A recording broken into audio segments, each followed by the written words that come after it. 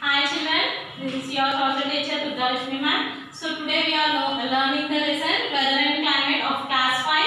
So the difference between weather and climate. Weather means it depends upon the air, temperature, wind, pressure and humidity. Okay now, these are the causes.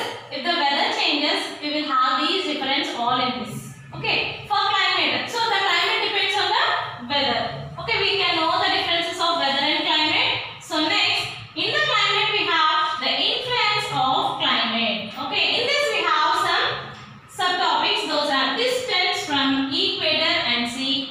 Next, uh, and also